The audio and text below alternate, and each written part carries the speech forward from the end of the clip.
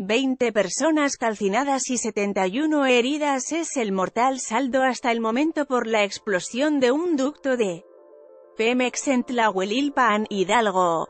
El gobernador de Hidalgo, Omar Fayad, dio a conocer en un primer corte que son 20 víctimas y 54 heridos, quienes presentan graves quemaduras y ya están siendo atendidos en hospitales regionales.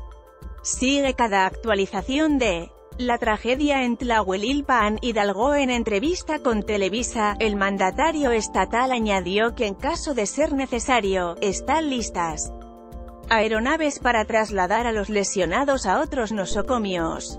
También indicó que el fuego en el ducto aún no ha sido controlado. En un segundo corte, informó que el número de lesionados aumentó a 71. Continuamos implementando todas las medidas necesarias para atender a los heridos y apoyar a las familias afectadas, señaló en Twitter. La fuga duró dos horas previamente. El gobierno de Hidalgo informó que a las 5 y 4 de la tarde hora se recibió el reporte al 911 de emergencia sobre la fuga de hidrocarburo en la carretera Tlaxcoapan-Tlahuelilpan, en inmediaciones de la localidad de San Primitivo, municipio de Tlahuelilpan.